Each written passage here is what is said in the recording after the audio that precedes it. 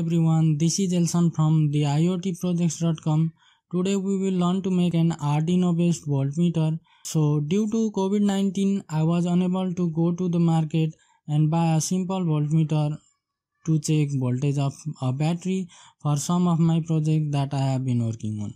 So I decided to make a simple Arduino based voltmeter project that can help you a lot in this pandemic situation. So without doing any delay, let's get started.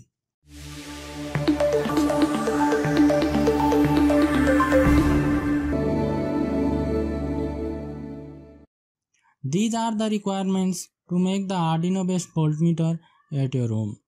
You will need an Arduino Uno board, 16 x 2 I2C LCD display, a few male to female jumper wires and for props we will use these male to female jumper wires. Now assemble the circuit as shown in the circuit diagram.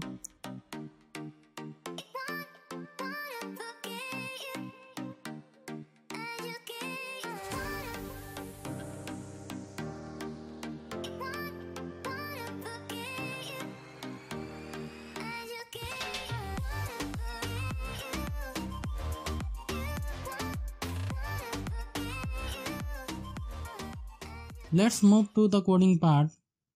You need to copy this code in the Arduino IDE software. I will provide the circuit diagram and program code link in the description below.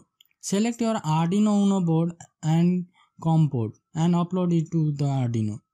Now it's time to test the project. Uh, it shows around 1 volt when not connected and 0 volt when probes touch each other. Now let's test this project with some dead batteries, partially used batteries and some fully charged batteries.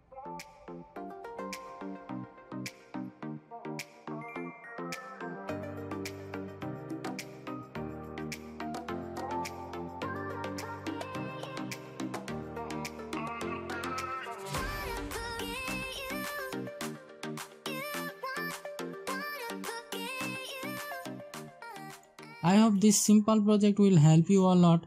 That's all for today. Stay safe, stay healthy and stay at home. See you soon in the next video.